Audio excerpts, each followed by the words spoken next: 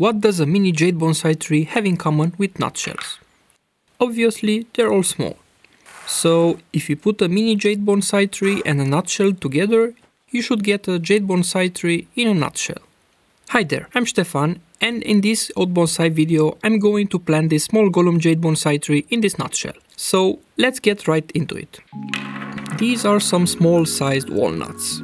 And here is how the normal nutshells look alongside one from a larger variety. These two here are regular nutshells which are smaller in size when compared with this one which I got from a different walnut variety.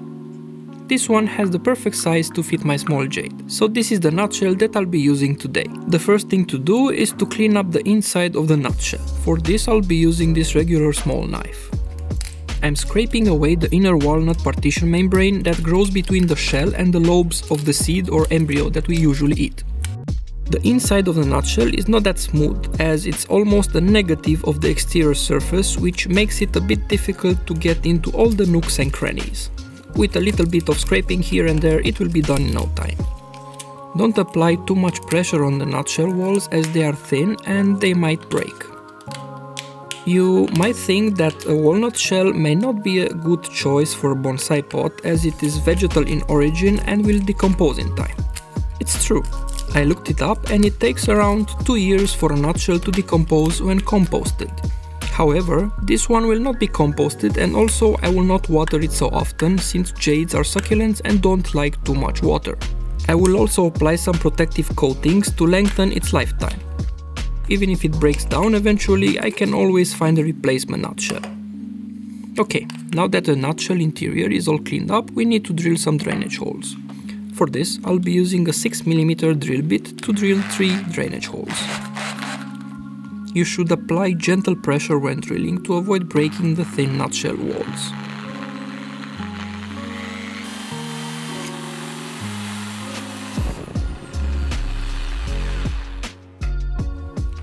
This is how the inside of the nutshell looks all cleaned up and with the holes drilled. As an interior coating, I'm going to apply water resistant wood glue using this brush. The wood glue that I use is waterproof and transparent after drying up. I just apply a bit on the brush and then apply it all over the inside of the nutshell. You should make sure you get into all the nooks and crannies. I will apply one single coat, but you can apply more if you wish. After drying up, it will be non-toxic and inert like most wood glues. After one hour, it's completely transparent. For the outside of the nutshell, I'm applying some olive oil. I'm going to apply it thoroughly then let it soak for a while and then wipe off any excess.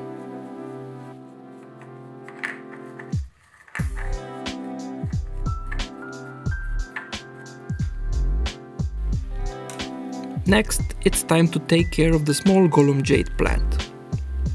It comes out easily since I only extracted it from a larger pot into this smaller one a couple of months ago. It doesn't have much of a root system, but still I'm going to clean up these roots. This mini Gollum jade is about 4 years old. It grew from a leaf that fell in a larger pot and I didn't really pay much attention to it until recently. Now, I want to grow it as a mini twin trunk jade bonsai. One issue that I have is that this single trunk grows too close to the other one. So I will have to use some wire even if I don't particularly like using it. I'm now wiring the trunk and bending it to its desired position. Now it's time to plant the jade into its new pot. Due to the size of the nutshell, I will have to use some wire to hold the bonsai in its place.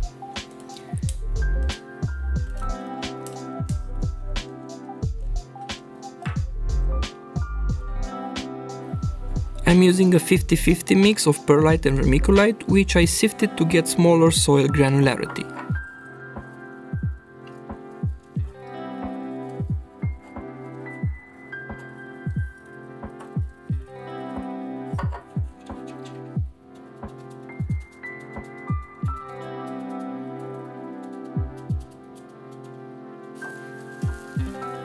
I'm fixing the jade in place using the wire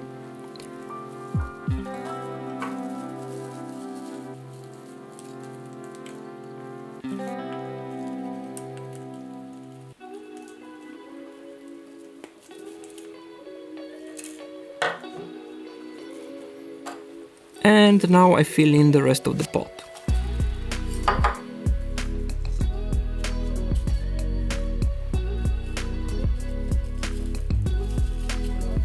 Now, one thing I was afraid of is that the nutshell will not be able to stand on its own. No problem. I have a solution for this. I'm going to use some copper bonsai wire to make a support for the nutshell.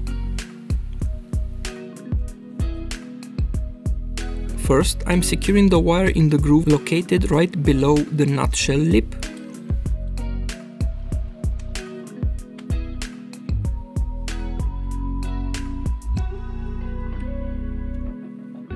and then I use the rest of the wire to make some kind of supporting base. It will be something along these lines but a bit more compact. This is what I came up with after some more fiddling around. It's still pretty compact and it kind of reminds me of Aladdin's lamp. Please tell me your opinion in the comment section below. If you like the video, please consider subscribing for more and don't forget the bell notification icon. It's time to water the jade thoroughly now.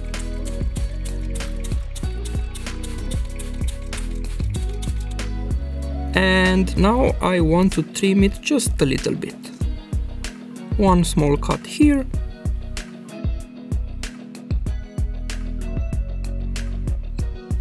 And another one here.